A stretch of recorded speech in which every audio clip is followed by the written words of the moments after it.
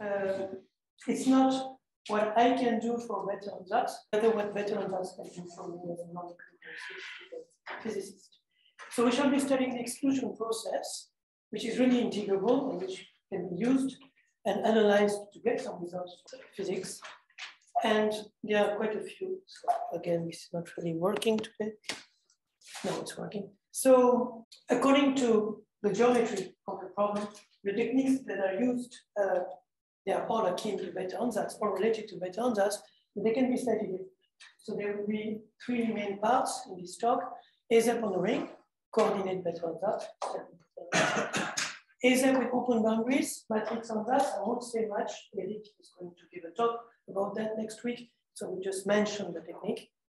And I would like to spend more time on the third part, which is ASEP on and using some more recent techniques uh, related to integrable probabilities.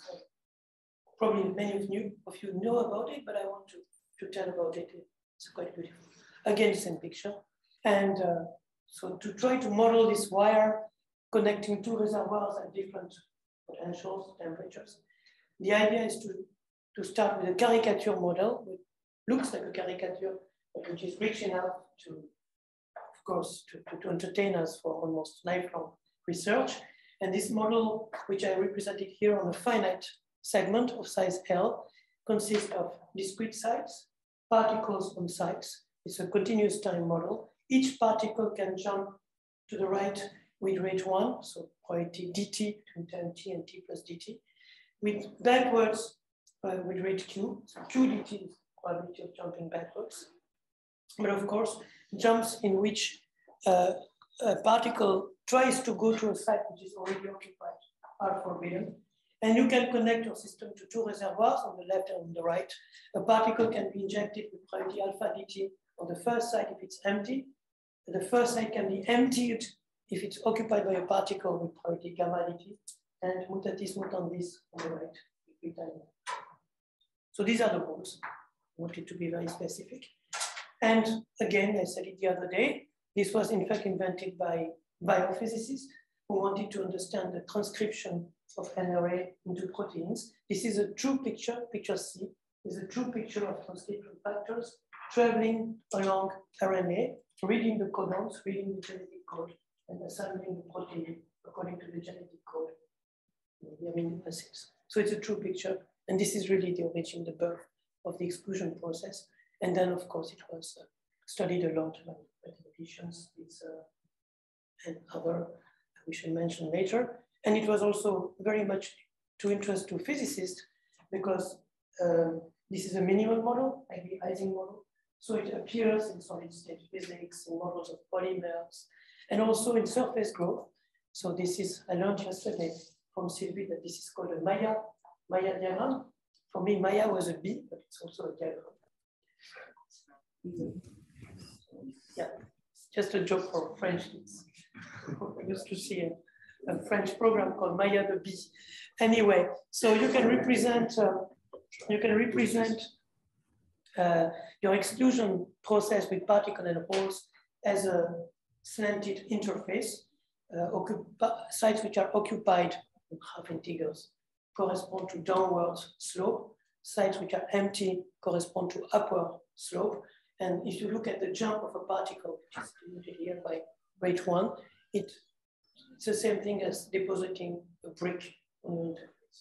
So your interface grows and evaporates and can be translated into the, it's equivalent to the dynamics of these particles in this one-dimensional lattice. And one major source of interest is that dynamics of interfaces are supposed to be modeled in the scaling limit of large size and large times by a universal equation known as the Kardar-Parisi-Zhang equation, which is written here in red. Seems to be funny. Okay. So the Kardar-Parisi-Zhang equation was written in the 80s, 86 by Kardar, Parisi, and Zhang as a kind of normal form for surface growth, respecting some symmetries and some kind of scaling argument. You don't have higher order terms because they will be irrelevant in the scaling limit, so you don't need them. This is a minimal model.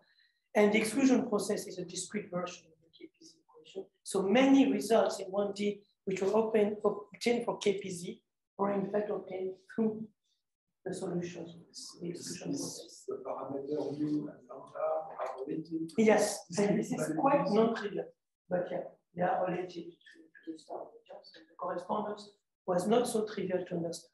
And as you know, also this KPZ equation, for us physicists, we can just write it like that. But of course, it's a nightmare definition. It's a non-linear, high order, uh, stochastic PDE, and it's really the work of who established the existence of these kind of objects from the mathematical point of view. There are some infinites, which are renormalization, which is hidden there. Don't want to talk about it. Okay. Anyway, so my seminar is, is finished. Um, I'm going backwards. As I told you, different geometries result in different phenomena and also in different techniques to address them. The simplest geometry is the ring. So if you have exclusion process on a ring that you always read in the trigonometric direction, so forward is really anti-clockwise. So you can have jumps with P and Q, and the asymmetry of the jump breaks the balance and keeps the model out of equilibrium. You can have the infinite line, which is uh, will be the third part of the, of the talk, or you can have the, let's say, the original system that was studied by the physicists in the 90s, which is the finite system with reservoirs, which is the closest to the picture you want to, to describe, but maybe not the most interesting from the mathematical point of view. So the technique used to study these models are diverse. They all imply integrability, but in different uh, point of view. Let's start by the simplest one, the exclusion process on a ring. So coordinate Bethe ansatz. So the particle jumps forward at rate one, backward with rate q. They are binomial L, L is the number of site, and the number of particle. Binomial Ln is the number of configurations, and q is the asymmetry parameter. As I told you yesterday, there's a Markov equation underlying this, this uh, stochastic, simple stochastic process. And you can, of course, uh, specify the state of the system by just giving the position of the particles, x1, xn. So you have an equation, dpdt is the Markov matrix multiplied by p. And the miracle seems trivial now because we know it for 30 years, but the first person to realize it was Deepak Dar in the end of the 80s, and then it was developed further by Guo Wishbone in the 90s, is that this Markov matrix is nothing but a spin It's made of local operators or update, updates of uh, just a link, a bond between i and i plus one. So it's a two by two matrix, which tells you how a bond, which has four states, can evolve. And this two by two matrix is nothing but an XXZ spin chain that you can write using Pauli matrices, S plus, S minus, etc. And realizing that uh, was the beginning, opening the Pandora box of integrability for these systems. So it was a very important observation by Deepak Dar, who never wrote a paper. He wrote a four-line paper, not four-line paper, a four-line abstract, and said that he was able to compute the cap, the, the dynamical exponent, using Bethe ansatz, never gave any detail. And uh, details and much more came much later by Gwa and and it was quite technical. So I have a question. So you use the word integrable. So here, what can you can you say what you mean by integrable about this relation? Yeah. So it's in fact you can twist it a bit and make it into XXZ. Okay. And once you have XXZ, just, just little story. So Dar was the first to to suggest that so. it was connected to KPZ or. or uh, no, no, this no, I don't think so. I think it's Robin Ball who saw the relation. in England called Robin Ball, a student of Sam Edwards. So this was more, you know, KPZ was more surface science. Uh, but yeah, I mean, it's of course related to RSOS models that Deepak Dar was studying at that time. So, okay, not completely sure about the history. But once you see that thing, you can really work on it using Bethe ansatz. Trivial remarks, the stationary state is uh, flat. Every configuration is, has the same uh, probability. So you don't need Bethe ansatz. So just one over the binomial. So the density profile is flat on average with Gaussian fluctuations. All this is very simple, just playing with binomials. You don't need patterns for that. But as soon as you want to know about excited states, and convergence to stationarity, then you need to know the eigenstates of your Markov matrix n, and the best way to accept to go to these eigenstates is through better. Um, for example, one object we want to study, as always, because the system is out of equilibrium, there's a non-vanishing current to the system. Cars are going around the system. You want to know the statistical properties of this current. The average trivial. You want to know the variance, you want to know the large deviation function, as I try to convince you. And for that, you really need to go into the whole matrix, not only the specialized. So just one line, because of course, think people are very much familiar about that. Uh, you can solve this model by using coordinate that, which means that you can look for the eigenstates of your matrix and as a linear combination of plane waves with well-chosen amplitudes, these A sigmas. And because particle, this is again hand waving, but bounce against each other, you have to somehow make a sum over all permutations possible, factorial n permutations of these plane waves. And you can show, because the system is integrable, that indeed a psi given by this Bethe ansatz um, can be an eigenstate of your Markov matrix under the condition that the z's, which are the wave vectors or the wave numbers, uh, fugacities, as you like, uh, satisfy this bunch of polynomial equations, which couple them with each other. So this looks a bit horrible, but this is much simpler for the non-aficionados than solving the characteristic equation, the Hamilton, Cayley-Hamilton equation of your problem, because your matrix is of size 2 to the power L. So this would lead to a polynomial of uh, 2 to the power L degree. And this is only a polynomial of degree, let's say, 2L. Coupled polynomials, but even in a computer, you can solve exactly, exactly, by Mathematica. You can get the solutions of these equations up to size 100. You're not going to diagonalize a matrix to the power. Okay. So it's already a, a huge reduction of complexity. And once you're able to solve this, you can compute the eigenvalues to the formula given at the, at the end of the, of the slide, summing the z's and the one over z's. What is x? X, oh, sorry. Oh, pardon. I'm mixing notation, it's Q. Oh, pardon, pardon, pardon. Sorry. Yeah, tendency. So thank you, Stefan. Q is X. Sometimes it's Q, sometimes it's X. By the way, when Q is equal to one, symmetric exclusion process, you are really best. So this is the Bethe ansatz for which Bethe invented the XXX4. So symmetric exclusion process on a ring is nothing but Heisenberg in imaginary Oh no, Okay. So yeah, I'm sorry, X is Q, I should correct that absolutely. So in the case of totally asymmetric, Q or X is equal to zero, particles only jump in one direction. There's a little miracle. These Bethe equations decouple. If you put X equal to zero, you will see that they don't become trivial. They don't become trivial, but they become much simpler. The quadratic terms disappear. And you can write these equations as a single polynomial equation of degree typically 2L. Uh, and this polynomial, the roots of this polynomial are the Bethe roots. so it becomes a one-body problem that you can solve quite explicitly, even in finite size. Usually Bethe ansatz, you have to go to an infinite size limit and do some integral equation, Wiener-Hopf and so on. But here, you can even go to finite size and you can even study the geometry of the Bethe roots. They align on some very nice curves, Cassini ovals, which are generalization of the uh, Lemniscate, Bernoulli Lemniscate. And you can really play with them, the way they move, the way, the, the way they, their geometry changes when you change the density of some parameter in the system. And you can really do the analysis uh, very uh, precisely and for finite systems. You, do, you can do kind of combinatorial analysis which is embodied in this cryptic picture, but which contains a lot.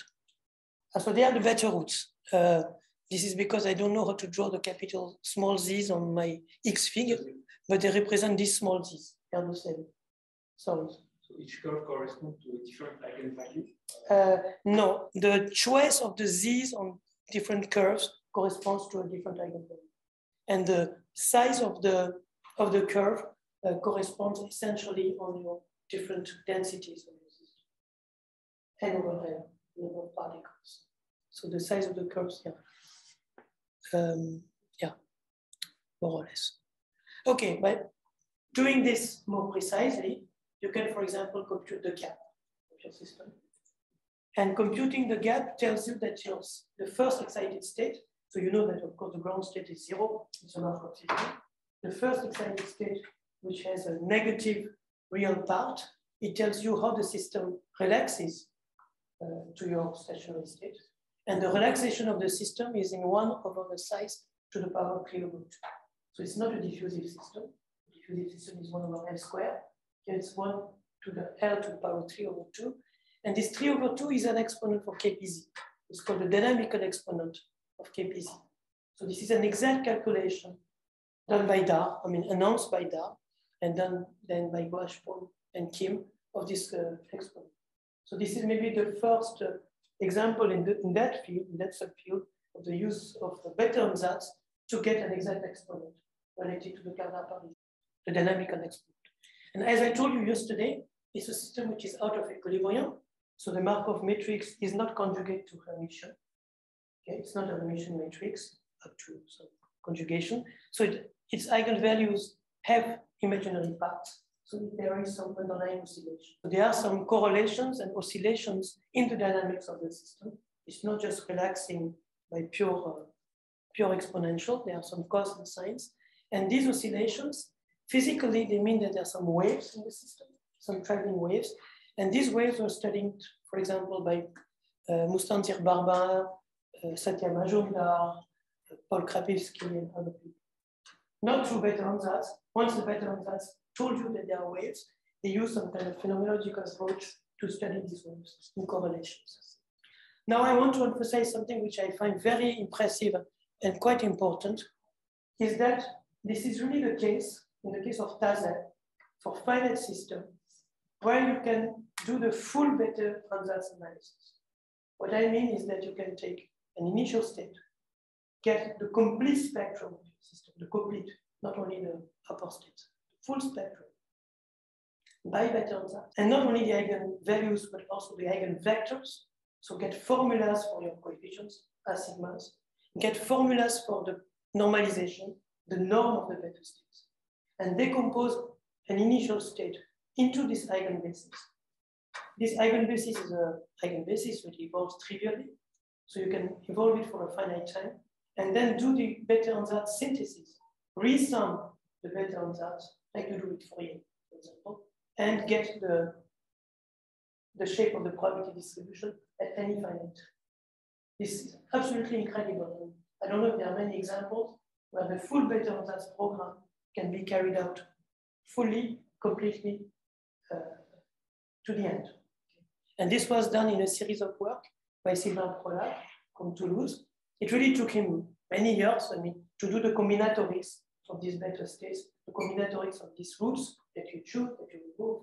You, have all these holes and all the, all the game that people know better us. He could do it fully and get uh, exact results at finite time as well as asymptotics. And in fact, get results for KPZ by going to large time system limit. And also more recently, he studied two years ago and he's still working on that. He showed that these kind of pictures here, in fact, in which you have these Bethe roots that move on curves and so on. This is just a kind of uh, wrong image. It's a nice image, but in fact, it contains something which is much more rich. Say some Riemann surface, which is of image. You have a polynomial, you have roots, you choose roots, so of course you have a Riemann surface. Whenever you have a polynomial, you can build a Riemann surface. And he really understood, which I cannot explain to you, in fact, but you should ask him, that the Riemann surface image allows you to compute some precise observables for this system. And he has developed a whole, uh, a whole theory around that, which of course the motivation is KPZ, of course. Okay, so something I told you yesterday is that the total current is something we are very much interested in. If I call YT the total distance covered by all the particles on the ring between time zero and t, I want to study the characteristic function of this YT, the Laplace transform of this probability distribution. So the average of exponential mu yt. And in the long time limit, you can show that uh, this exponential mu yt behaves like exponential some coefficient e of mu times t, and e of mu is the cumulant generating function of your current long time limit. And using the Bethe ansatz, uh, you can compute, in fact, a parametric representation of this E of mu. You cannot really compute E of mu, but you can represent E as a function of, as a series of some parameter B, and mu also as a series of B. So if you are able to eliminate formally B between these two uh, parametric expressions, you have E of mu. And this can be done at least order by order. So the nice thing is that in fact, these uh, coefficients of these uh, parametric expansions, they are related to some combinatorial structures, tree structures that were also explored by Prolhac more than 10 years ago. So the thing I want to emphasize is that indeed this, this can be computed by using Bethe-Ansatz equations, but not on the Markov matrix and some Doob transform some twist of this Markov matrix. This goes back to Varadhan, Donsker-Varadhan theory of large deviations. But essentially, you have to slightly perturb, uh, perturb your Markov matrix and in such a way that fortunately it remains integrable and you can compute the cumulant of the currents. This was done by Derrida and Lebowitz already a long time ago for TASEP. TASEP is a simple case, the Bethe roots decoupled. And then 10 years later, uh, Sylvain Prolhac and myself, we did it in general for the ASEP. So I want to tell you a bit about the results because the physics is hidden in the results. As, as you remember from yesterday, knowing the cumulant generating function allows you to compute a large deviation function. So you can compute the probability that the current yt divided by t equal to capital J takes some empirical value, which is not the average current. And this is embodied, encoded by the large deviation function phi of j. Phi of j is related, in fact, to this cumulant generating function by a Legendre transform. So once you know E of mu, you can deduce from that knowledge the large deviation function of the current, and you can get fairly explicit expressions uh, for this uh, cumulant for this large deviation function, explicit enough to draw it. So this is just an artistic sketch, and precise. You can do a precise drawing of this cumulant of this large deviation function, and you can study the asymptotics. So here you have the typical current. Here you have the Gaussian fluctuations, the quadratic variance. But what we are interested in is an untypical behavior. So either very large currents or very negative currents. And as you can see, it's not a Gaussian, it's not a parabola. All this is in the exponent. So if it's a parabola, it would be a Gaussian uh, distribution. It's not Gaussian at all. And you can see from this sketch that in fact the, this curve grows much faster in the positive direction rather than in the negative direction. And this is quite intuitive. Here, if you have to, if you want to have a smaller current than the typical current, if you want to reduce the flow through your system, in fact, you just have to need, you just need to have a few particles that don't jump easily, that become lazy. So it's easy to reduce the current in your system. Only some, for some statistical reason, you have some particles which jump, don't jump, so the current is reduced. On the contrary, if you want to create a huge current into the system, you have to push forward all the particles in your system. So they have to be very active, much more than they are on average. So it's much easier to reduce the total current rather than increasing it. And this is a kind of hand-waving explanation of why this uh, large deviation function is non-symmetric. Of course, it doesn't tell you about the exponents 5 over 2, 3 over 2, and so on. It's more precise. And these exponents 5 over 2 and 3 over 2 are also related to the KPZ world. And so, so all these things match well together quite nicely. So if you want to do it on an infinite so this is the limit of a finite interval when it goes to a very large size. But this is not the same thing as taking from the beginning an infinite interval.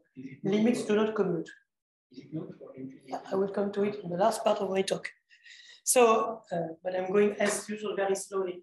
Uh, you can also study the weakly asymmetric case in which the system is quasi-symmetric, but uh, the rate of jumping backward is one minus nu over L, where L is the size of the system.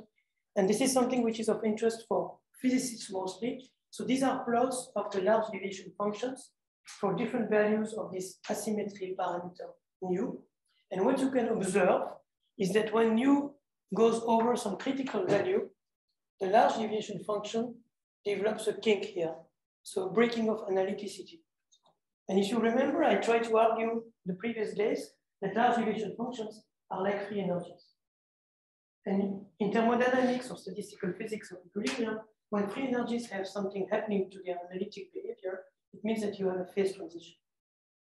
While the same feature is true far from equilibrium, if large deviation functions have a catastrophe in their analytic behavior, it means that the system undergoes something in the bulk. Something happens physically to the system.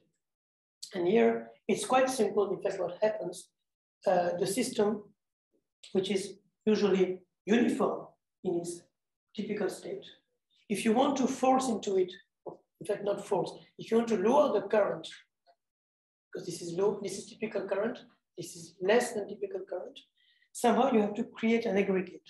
You have to create a traffic jam. So instead of having a uniformly distributed density on your ring, you will have a kind of, you know, a bunch of particles which make an aggregate and make a traffic jam like with cars. And this kink in the, in the free energy node, in the large deviation function of your system signals the, appearance this uh, traffic okay, of this condensation, if you want, just like having something that condenses. So you can probe phase transitions through the study of the analyticity properties of your free of your large deviation function, which plays a role for free energy, far from equilibrium. And this can be probed through microscopic calculations. Okay, I'm going to the second part, which is the system with reservoirs. So if there's any question on the ring. So the ring is not super exciting from the point of view of physics. I mean, it's just, you have no, it's, it's, it's a closed uh, um, uh, highway with no entries and no exits. Okay, but it contains uh, methodology and some interesting phenomena anyway. More interesting is the open system. Yes. Uh, so uh, in the previous slide, so in the after the kink, yeah, uh, the slope tends to increase. But intuitive because then it means that it's harder to. Good question. So you would that since you have traffic jam. Yes, yes. No, it's, it's a good question.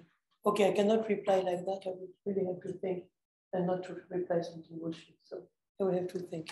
Yeah, you're right. It's system, which is the closest to something more realistic with two reservoirs. So this is, of course, a landmark uh, paper by Bernard Derrida, Martin Evans, Vincent Hakim, and Vincent Pasquier, almost 30 years ago. This is a system with two to the power n microconfigurations. The dynamics is simple, I just described to you 10 minutes ago. But the weights of each configuration, the stationary weights, were not known till that. Okay, so you have to find two to the power L probabilities that sum up to one, and that tell you what is the probability of observing this state in the stationary state, or the state where there are no particles, whatever, one of the two to the power states. And what these gentlemen uh, discovered 25 years ago, uh, um, was that you can represent the, the, the, the, stationary probability as a product of matrices. Uh, you have two matrices which encode for particles and, and empty sites, D and E. Ask Vincent why it's called D and E, I don't know. Um, and D are for particles, E are for empty sites. For example, of course, the configuration is a binary string. So here, for example, this configuration I drew is ED, E, D, E, D square, E, D, E, D, E, D. Okay. So you multiply these matrices, you compute one of the, the one one entry, let's say, some entry of this matrix, and this will give you the probability distribution in the stationary state under the condition that D, E, and the boundary vector and covector, V and W, satisfy this simple quadratic So I think this is essentially a guess, but because the stationary state is unique, you can check that it gives you the right stationary state. And once you have that, well, you have the atomic probabilities of your system. You know the, the, you have the same thing as you would have from Boltzmann leaves. You know the probability of each micro configuration. So you can compute average current, you can compute the shape of the stationary densities. Can I just ask a question? Yes, of course. So, so since this beautiful gas, mm -hmm. is there any now algebraic understanding yes, of why this of course there is, and uh, I think Eric, you probably tell more about that next week. Wait next week. Okay. there were quite a few works, I think Sasamoto in the 90s, or, but really I think it culminated a few years ago uh, by Nikolai, I think who really understood the relation. But they have algebras, things like that. But this is really Eric's, uh, Eric to tell you. But at least here we have a tool to compute micro state probabilities. And so once you have that, we can carry out the program that I told you before. So first of all, it allows it allowed uh, very early to compute, of course, the phase diagram of the model. The phase diagram of the model depends on the reservoir densities. You push more particles. The reservoir on the right does not accept particles very easily, and of course, high density state. It's quite familiar. You can compute finite size corrections. There is a huge amount of knowledge which has been developed thanks to this matrix ansatz. There is a review which was, which is still quite useful, but it would be nice if maybe Martin and Richard Blythe could write another one. It's already 12, 15 years old, but it contains 100 pages of many examples. The thing is that this matrix ansatz is not restricted to exclusion process. Many systems which are variants of this exclusion process or generalizations can be addressed by using this method. So it has become a whole, uh, a whole sub, sub-subject working with that.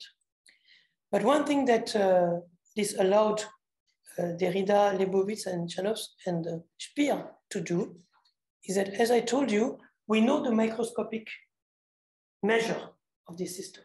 So we really know everything in the stationary state. So now we can ask ourselves, what is the probability of, see, of seeing a macroscopic profile like that, which is one of the main questions. So what is a macroscopic profile? Well, if you cut into boxes, you say, okay, I, I put boxes of size delta x, and in the first box, I put so many particles and so on and so on. A priori, you can imagine that it should be possible to do the calculation of computing in the large L limit the probability of seeing any uh, profile shape. It's a horribly complicated calculation, believe me. But in principle, you have all the information to, to do it. So it's a very, very difficult calculation. And this was done in the early 2000s by Derrida, Lebowitz, and Speer, who were able, for this model, to compute the probability distribution of any macroscopic profile, starting from the microscopic combinatorial measure. So it's terribly complicated combinatorics, and they were able to compute the free energy, non-equilibrium free energy of this profile. So I just flash on the on the on the formula. I mean, take half an hour to describe the details. Uh, you see, it's not the usual rho log rho, one minus rho log one minus rho entropy formula. It's much more complicated. It's non-local because it relies on solving a nonlinear uh, differential equation that is not solvable. So, but at least it depends on some function which is non-local. And it's only in the equilibrium case when the two densities on the right and on the left are equal, then this formula reduces to what you hope it should be, which is just the Cramer entropy or the basic entropy of the system. But as soon as you are out of equilibrium, you get a free energy functional uh, which is highly non-trivial, which even has some complicated non-convex behavior. But this was the first example of a free energy for, I still, let's call it free energy, although it's rather a large deviation function of the profile. It's the first example of a non-equilibrium free energy obtained from microscopic, from this matrix ansatz ultimately. You, you wrote some metric case Q equals zero. Isn't Q equals zero usually the uh, Q equal to zero, that's the totally asymmetric case here? Oh, So- sorry, so sorry, sorry. if you mean- That's a totally asymmetric case. Sorry, I just forgot an A. Totally asymmetric. Yeah, thank you very much. Thank you very much. Yeah, that's a huge mistake. Uh, yeah. Okay, something else that can be computed. So here in that open system, there are some current, of course, which is forced by the boundaries. And you can try to compute the statistics of the current. Not only the average, the variance, the full probability distribution, the cumulant generating function, the large deviation function. I insisted already enough in the first two lectures to show that this is the quantities we want to compute. Unfortunately, if you look at the current, it's the total number of particles that travel through the system between time zero and t. So it's not a stationary state, uh, a purely stationary state property. You really need to know the excited states of the system. So you cannot only use this measure to compute the, the fluctuations of the current. Okay. Um, unfortunately, so you really need to know more about your Markov matrix than just the above. This remained a kind of open question for many, many years uh, to compute uh, the cumulative generating function or the large deviation function. I have really a problem with left and right derivatives. Okay, and this could, this was solved in the end. So I just again flash on the results, but just to show you that they are not too horrible looking. Okay, I mean, there are some formulas, parametric formulas for the cumulant generating function, some simple formula for the, for the large deviation function. I just wanted to tell you that to obtain this result, and this is quite, uh, quite nice in fact. So this is something we developed with uh, Alexandre Lazarescu 10 years ago. Uh, what you need to know is to know some excited states of your matrix in some way. And what we use is a nested matrix ansatz. So the matrix ansatz I showed you before was just with two matrices D and E. And in the meanwhile, with some other collaborators, including Pablo Ferrari, we realized that the M species exclusion that you told us about a couple of days ago can be solved by a kind of tensor product matrix ansatz. And this tensor product matrix ansatz also allows to solve the current uh, generating function problem. So quite bizarrely, understanding what happens for the n MAZ allows to understand what happens to the current in the open boundary system. I don't know the reason, but that's true. Stefan, so, okay, so these are the results. And uh, I would think, so it's not the same problem as computing exponential new, uh, I mean, span, I mean, the, the spectrum of the twisted. it is, it is indeed, yeah. yeah. That's what we So, did so it should be kind of better as you know, well, you know, uh, that we solve it using the matrix ansatz. The problem is it's an open system, so the Bethe ansatz calculation was particularly complicated. I, complicated. I think Nicola, you, you worked on that after, and also also. But um, personally, I don't even know if the Bethe ansatz calculation was really carried to the end. Or And just that's the- why I asked the question. But yeah, for me, I was happy with the result with this net, nested matrix ansatz. Can Uh, so it, more what you mean by nested matrix ansatz? it's taking this, uh, maybe what we heard this morning in the papers, is really taking this basic quadratic algebra of DNA and making tensor products. So what we realize is that to solve the, uh, the two part, the two, as I, the two species, we need D, E, and another matrix A. And for the three species, four species, if you control or not, you need to do some tensor products of these matrices. And if you want to have a five species, four species, even more tensor products.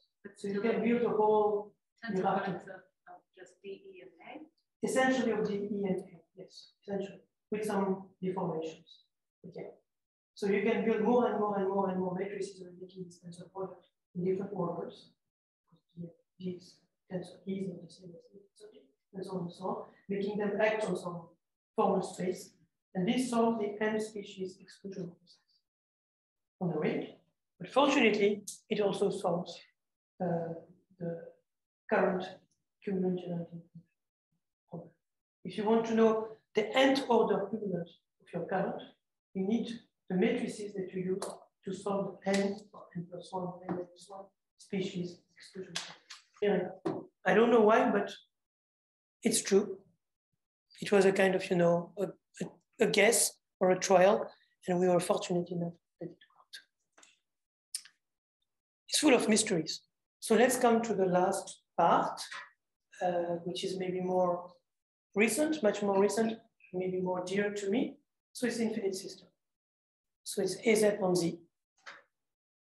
Um, and you put a number of particles on that, and you let your fluid on the line evolve. So there's one important piece of information that was first noticed by Schutz, remained unknown for 10 years until Tracy and Widom in 2008 really took it over and turned it into a real, you know, real machinery that works. Is that if you start with a finite number of particles, n, small n, initially located at x1, xn, you let your system evolve and you want to compute the probability that these particles are now at y1, yn. So you want to know this transition probability or green function, which is a kind of basic tool. If you know that, you know everything, you know all possible probabilities of evolution. And what Schutz noticed is that by using Bethe ansatz as a kind of inspiration, it's not real Bethe ansatz, there are no Bethe equations. But using the Bethe ansatz as a kind of formal right way of writing things, and writing a formula like that. So this formula is a integrals of n complex variables. And these n complex variables have to be integrated in some contours, small contours around zero. You put the typical part coming from the Bethe ansatz, these are the plane waves. And you put the form factors that you know from the finite Bethe ansatz. So this is again, you know, cooking. But if you take this formula and you forget about Bethe ansatz, you just write this formula and you sum over all permutations. This formula satisfies exactly the Markov generator in time t. So forget about Bethe ansatz, it's just a formula that you cook. And then once you have the formula, by unicity, you can check that this is a solution of the Markov equation. Beginning, as I told you, it remained almost unused and unknown for 10 years. But at least once you know the green function of that system, well, you can extract marginals. This contains too much information. And you could hope that you can compute some, you know, a given particle where it goes in a finite time, extract some asymptotics and so on and so on. But of course, uh, this is a horribly complicated object. You have a sum of permutations. There are factorial n permutations. n is the number of particles. Should be a small n here. You want to go to the infinite size. It's an infinite size system, but you want to have an infinite number of particles. So you're summing over factorial n, which is already a big number, with n going to infinity. So it's the combinatorics is horribly complicated. So it's more a visual, it remained more a visual thinking for many years to use that than really a tool but it became a tool, and I want to show you how it, how it works. So of course, to simplify that, there is full of combinatorial identities uh, between these rational functions. So I want to show you how this works on one specific problem. But of course, this has become a whole, again, a sub-branch, which is known as integrable probability uh, techniques or theory. And uh, the, the great developers of this theory are people like Borodin, Corwin, Petrov, Aggarwal, their students, and it's a whole subject. So I want to illustrate that on some very specific uh, problem that we solved a couple of years ago with Sasamoto and Imamura to give you a kind of uh, flavor of how these techniques work for a practical problem. So one very practical problem is to take the exclusion process symmetric, symmetric P equal to Q equal to one on the infinite size system with a finite density now, infinite number of particles.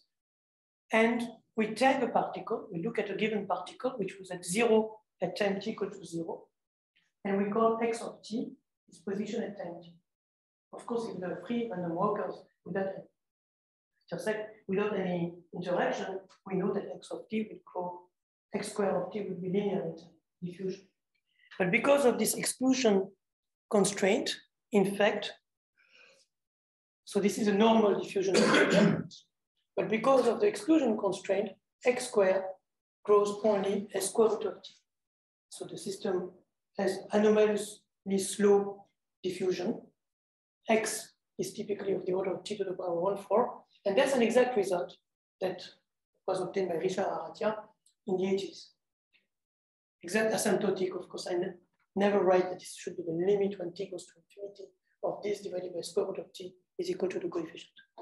That's what I mean. And the higher cumulants of this random variable, which is just the position of a given particle that you're looking at, and the full distribution and the large deviation function, they remain open for many years. It was not solved.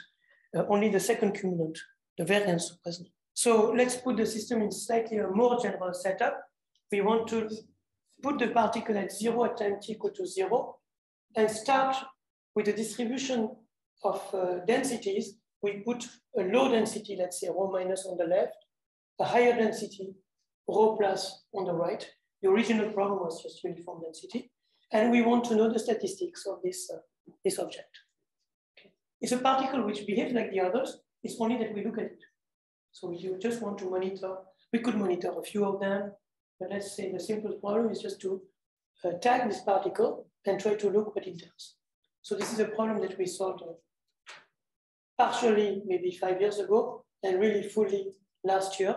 And uh, I'm quite proud. I just want to emphasize it. This is my only paper which contains the words theorem, lab, and so on. So it's, math it's mathematically kosher. I'm not sure I will do any other one, but uh, it's in CMP and the proofs are full. So I think there is no there is there is no hole as far as we can say. Anyway, so I give you the result, and then I try to give you some flavor of the proofs and of the steps. So the result is fairly explicit. Uh, it's an exact result at finite time, not only asymptotic. So we know the distribution, the cumulative distribution of our tracer.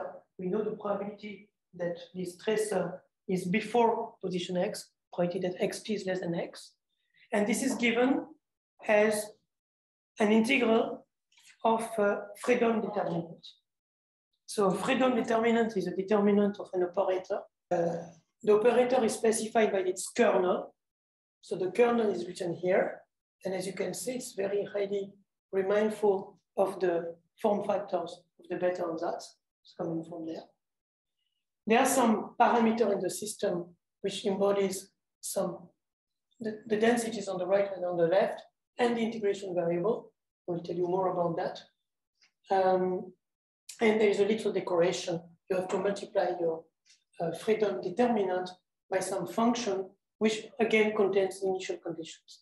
Okay, so it's a bit cryptic, but I just want to tell you that. So this variable omega really expresses some symmetries of the exclusion process, parity and time reversal. This kernel is a form factor.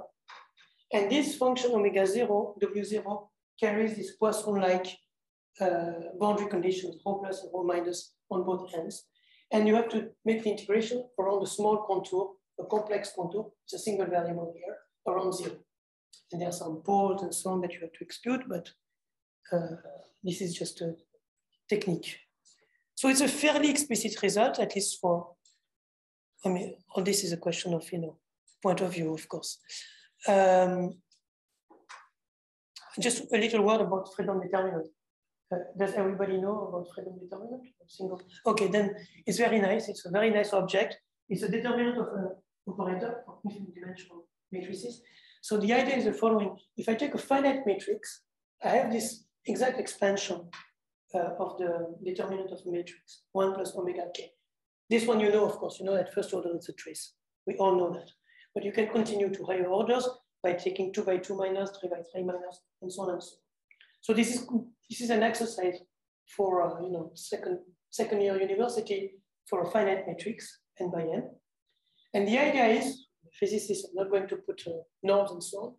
These sums, when you go to an infinite size system, uh, you can transform them, them into integrals. And then this kind of formula, this expansion of the determinant allows you to compute the determinant of uh, many operators. The operators have to be trace class, essentially. So Fredholm operators, one plus omega k. So there's a whole theory. I mean, classical theory, you find that all these things rigorously in the functional analysis books of random determinants. And you can really view them as a generalization of our good old determinant for finite matrices. Uh, I'm going back as usual. How much time? One more. One more, one more. Twice. Dizaine de minutes. Okay, so I will just tell you a bit about how you get this result and what you can do with it. Uh, first of all, we go back to this Maya, Maya diagram that Sylvie told us yesterday about, but in slightly different, instead of going downwards and upwards, I draw a Maya diagram uh, in which if you have no particles, you are just horizontal. And if you have one particle, you go upward. Slightly, it's a twist, it's just a rotation of your Maya diagram, but it's useful. And this allows you to trade your configuration of the exclusion process into a height interface. And in fact, the, this interface evolves in particle hop, this interface evolves, and you can see that the total height of the interface above any given point, n of x and t, here I've drawn n of zero and t, this height corresponds to the total current that has flown through this bond between time zero and t. All these things are non-trivial when you see them for the first time. If you spend 10, 15 minutes, on them, then it becomes simple. There is no hidden wolf in that kind of definition. It's quite, it's quite uh, standard. Okay. And then the whole thing uh, relies on the fact, you see, it's always very difficult to follow trace because it's moving. So it's an observable which is not at the same place. It's much easier to look at some place, side zero, side one, and look at the current of the height over it, because this is a static. This Maya diagram allows you to trade between a moving tracer observable into a fixed height observable. Simple trick, but very useful. So in fact, it's just like going from Euler to Lagrange coordinates in aerodynamics. Exactly the same thing for discrete variables. And again, a little thinking because you don't have, so this is very simple, but if you try to, if I try to explain it, I always get confused. But the probability that the tracer has traveled further than a distance x using this Maya diagram is the same thing that the height at x is negative. Sorry, and the same thing the opposite way. Very simple just by using exclusion, but always very confusing when you want to explain to it, especially in a language which is not not your native language. Anyway, okay. So if you know the statistics of the height, you can trade it back to the statistics of the tracer. So you don't lose any information. So that's what we are going to do. And the nice, nicer result, much nicer looking than the previous one, is that the cumulant generating function of the height over x is really given by a Fredholm determinant multiplied by some little function with the same ingredients that I showed you before. So in fact, this formula is obtained first, and then going back from n variable to x variable, making some integrals because is a cumulative function, you get the formula more complicated that I wrote before. But the master formula is this. So how do we get that? So I will give you the strategy to get that. Um, so it takes quite a few steps. Uh, first step, which may seem bizarre, but it happens often, uh, it's better to generalize the problem to solve it. So it's better to go from Z to AZ and to introduce jumping rates P and Q and not only one one. Everything in this TZ, not TZ, AZ is embodied in the asymmetry parameter P over Q. That sometimes I call X, but it's tau. Okay? Because you don't really care about the absolute value of P and Q. You really care on the ratio up to a time, time scale rescaling. So again, we have traded the moving tracer position to the local height variable. But unfortunately, now we have to compute these heights everywhere. There's no free lunch, okay? So we have now many variables which are non-moving, but of course indexed by the position of the site. And one very difficult thing here, which is again another um, wall that you have to break through, is that we want really to consider a system with finite density, density one half, let's say. So we have an infinite number of particles. So we cannot really use the Schutz type formulas which are only valid for n particles. If you want to compute the height over a given site, you really have to count all the particles that went through it, not only a finite number. And you don't know what this number is. So you need some trick to restore finiteness. Otherwise, you have to ma manipulate uh, formal things which are infinite and you don't know how to sum them and so on. And the trick exists, and it's a very, very beautiful trick. Uh, it's called duality. So this would require full seminar almost. But, and this duality is only true for the asymmetric exclusion process, and you cannot use it for the symmetric case. So that's why we had to go to, to the asymmetric case with a tau. And usually we want to compute correlations. And duality tells you that if you try to compute this tau correlated correlator, so that's tau is the asymmetry parameter to the power n, height over x1, blah, blah, blah, times tau n to the power xn. So these are correlators.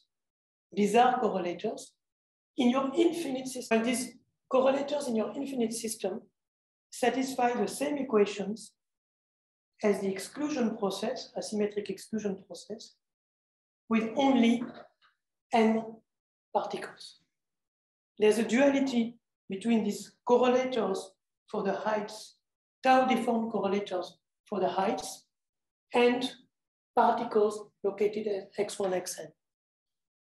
Okay, maybe this has nothing to do, but something which I found striking the other day in one of the talks is that when you have, for example, these KdV or Kp equations, when you look at the poles, solitons, which are finite, these poles satisfy Calogero-Sutherland. So something which is a kind of effective dynamics for these poles. Well, here what happens, I, I don't really know if there is any relation, is that if you try to look at these correlators in the infinite particle system, infinite size system, it behaves, it closes itself as a finite system dynamics. And then you can use Schutz uh, Krasickian formula because now you're you have brought finiteness into your problem. So what is the origin, the origin of this duality? But the paper remained unknown for many years. Schutz in the 90s, who saw that because we have these exclusion processes are nothing but Q-deformed spin chains. And these Q-deformed spin chains are UQ SL2 invariant. So there's a quantum group invariance of these spin chains. And this results on the fact that these correlators are finite, have this good property. So it's really the quantum group invariance of the exclusion process, which tells you that this duality property, which allows you to restore compactness, finiteness. Okay, so then it's a question of taste. I mean, you can be happy with that. I was much more happy when more recently with Imamura and Sasamoto, we proved, we found a probabilistic proof of this fact, forgetting about UQSL2 and so on, which is very beautiful. Okay, and just by using Poisson calculus, stochastic calculus, you start with these correlators and you prove by using stochastic calculus that they close, that they have nice equations. And but the real, the real thing behind it is this quantum group invariance. So first step, you have to use this finiteness. That's the main part of the, of the calculation, is that you can get an exact formula for these tau correlators. And this exact formula of these tau correlators can be expressed by an n-fold complex integral with the same form factors and uh, some Bethe, Bethe eigenvalues. So you will tell me, but what's the advantage uh, of this formula? So this formula is a complex integral around some contours, which are nested and so on and so on. But the miracle is that here you don't have any sum over sigma anymore. You're not summing over the group of permutations. The sum is done. And the sum is done precisely by the nesting of the contours. Somehow, you're able to resum this Bethe sum with these form factors and these A sigmas, we're able to contract all that into a single multiple complex integral, but with some bizarre condition on the contours. And if you try to denest these contours using Cauchy formula, you restore the sum of all uh, permutations. But this is a compact object that you can play with. Okay, and now, okay, this looks horrible when you see it, but you can very easily prove once you have the formula, you can prove that this satisfies the Markov equations for a finite number of particles. And the main ingredients are trivial. That's why I wrote them. The main ingredients are in fact formulas like that, that you can of course give to your kid to check. And this one too, I mean, this is just you know, rational functions, just sum and it works. And just because of that, when you do, when you act on this big integral by the Markov operator, of course the Markov operator makes one particle jump forward, backwards, put some Q, put some, put, put some P, and does this kind of uh, manipulation inside your integral. And once you combine all that, you see that some of the residues uh, of your integral vanish and it gives you zero because there's no pole anymore. You have some cancellation of poles and things go well together and it simplifies.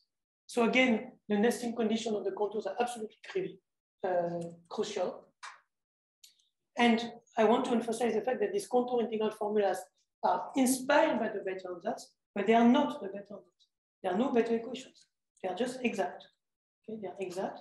They are a bit bizarre. We don't know them, it looks a bit odd. But this is, I mean, this is totally kosher from the mathematical point of view. And there's no problem of complete, completeness or non-completeness. Uh, you just take the formula, you put it into the generator, and it solves it. You're happy with that. Uh, okay, and there, of course, this is just one possibility of using these uh, techniques of integral probabilities, but as you probably, many of them of you know, this has been, of course, used in many, many problems. Okay, uh, two more little details. Uh, manipulating these equations in some ways and so on and so on, you can get some recursion relations for these big contour formulas. I'm not going into the details, but in the end, you can really get to this Fredholm determinant. And maybe I'm insisting on that because I know that most of you are mathematicians. Uh, there is no lack of rigor in all this procedure. Every step is perfectly rigorous. There's no approximation. Okay? So it's not physics anymore. There's no approximation. Anyway, once you have a Fredholm determinant, then comes another part of your work, which is analysis. Sorry, Nicola. Uh, so you have to, to do asymptotic analysis using certain methods and so on and so on. And you can extract the large deviation function and you can get formulas. So I'm just ending my talk by showing to you that this may look quite abstract, but in the end, of course, you can retrieve Arratia's result for the tracer. You can get the fourth order. You can get the sixth order. You can plot the large deviation function. Things can become concrete. This is not just, you know, formulas which are purely formal, you can get numbers from them. Uh, and another, thing, which is just a conclusion, once you get this large deviation function, you can even check that your calculations are not totally wrong by checking the Gallavotti-Cohen identity for the tracer large deviation function, which is satisfied. It doesn't mean that your calculation is correct, but if you don't, didn't have it, it would mean that it's wrong, okay? And one nice thing is that because of this Gallavotti-Cohen relation, as I told you yesterday, uh, Gallavotti-Cohen implies the Einstein and the Onsager relations. And there was a very old paper by Pablo Ferrari, Goldstein, and Joel Lebowitz in the 80s, where they proved that uh, the exclusion process, although it's an interacting particle system out of equilibrium, it does satisfy the Einstein relation. Well, because it satisfies Gallavotti-Cohen, it does satisfy automatically Einstein. So it's a kind of reproof of their result using Gallavotti-Cohen. I'm going to end. Well, this I'm not going to talk about, and that's all. Yes. Thank you very much. There are some underlying experiments we can talk about. Okay, thank you very much. Are there any questions? Je réponse à ma question du début. So this, this Lebowitz calculation for Tazer now. So they did it for Tazer and Zappos. That's why I got confused. You need, you need an infinite interval. No, friend. Yes, but my question is now, uh, because you, you seem to say that there are new techniques that work for infinity. So is it, is it known for, for Tazer, the large deviation function? Uh, not for Tazer. Because, so, yeah, in fact, that's a very good question. This is what I want to talk tomorrow about. Um, here, we computed the probability distribution of profile for atypical current. What is the probability that large deviation occurs? But I didn't tell you how this large deviation occurs. I just tells you to tell you the probability, but what is the optimal fluctuation that brings some non-typical current? So you have a rare event, which is very rare. But to obtain this rare event, you need some stochastic evolution, which brings this event. Okay, pass a current through a wire, and usually instead of having the home current, I have something which is very non-typical. And because of that, uh, the system has produced some non-typical behavior, some fluctuation which is non-typical. So what we computed is the probability of seeing this non-typical fluctuation, but we have not computed how this, what is the history of this non-typical fluctuation. A priori, this could be accessible by Bethe ansatz, but absolutely nobody knows how to do it. So to address this question, what is the optimal fluctuation so the, that generates a non-typical behavior. So, you know, it's a very rare event, but to appear, it is true, the least rare of a rare evolution. It's kind of optimal. So for this, you need to use another technique, which is known as the macroscopic fluctuation theory, which is tomorrow's uh, subject. And using this macroscopic fluctuation theory, you can compute this problem, but not using the vector. je voulais poser l'exemple pour le TASEP. Okay, so that's for the symmetric, for the weakly symmetric case. Okay. For the TASEP, unfortunately, this macroscopic fluctuation theory does not really exist yet, although there's some proposal recently. So it's a completely open. The turns out is easy, it would be more easy. Yeah, but the problem is finiteness again. You have to use duality and uh, yeah, we don't know because we don't, nobody knows yet. It doesn't mean that it's not doable. The questions? Online, no questions? Okay, thank you Thank very you. much.